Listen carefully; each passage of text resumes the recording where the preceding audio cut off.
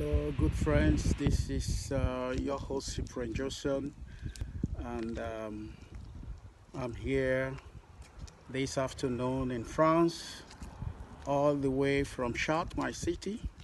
In this place, I am going to do the Africa news analysis and uh, review, and uh, it's all about Nigeria, the land of all magics. Nigerian Tory don't tire me. Really, really, really.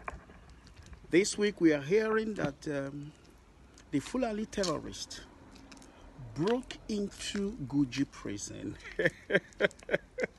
Wonderful never cease to happen. Now, the news is, all, is that before the time they broke into this prison, all the soldiers were withdrawn. Nigeria. All the soldiers were withdrawn and they made the way clear for the terrorists to get in into the most hardened and well protected prison in Africa. There's no way you can enter. You see, I'm standing here close to a wall. Well, this is not Kuje prison anyway. It's just um, the wall of a school. And there is no how, when you look at the barbed wire here, if you see, can see the barbed wire here, I cannot jump in. And there's nobody guiding it.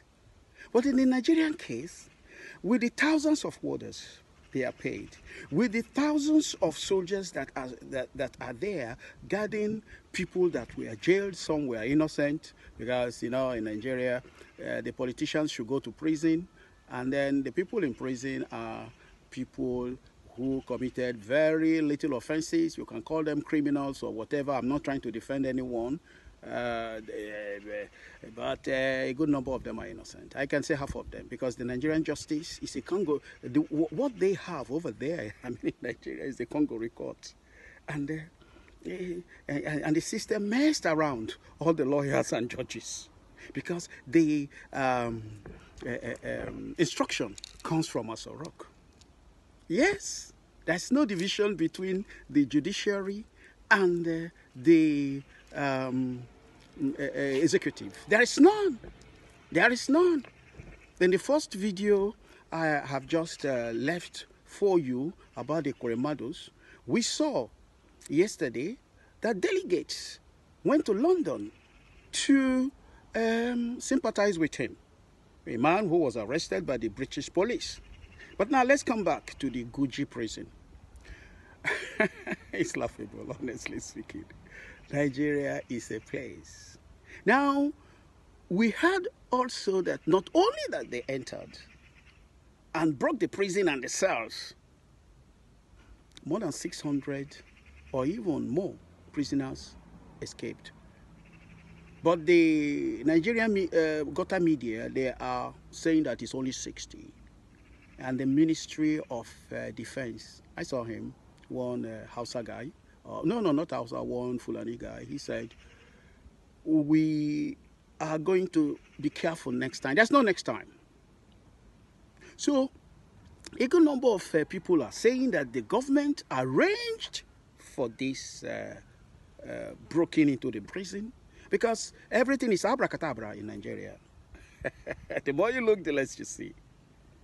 Because they wanted to save Abba Kyari. And now nobody knows the um, whereabouts of that guy. You know, FBI is looking for him. So what they're going to tell us in two weeks' time or more that Abba Kyari was killed during that attack by the Fulani terrorists that they cleared the way for before they got into the prison. My people, please, Onamumu don't too much. You guys are working with your heads in Nigeria. This is your host, Cyprian Johnson. And uh, if I have irritated you, leave me a comment.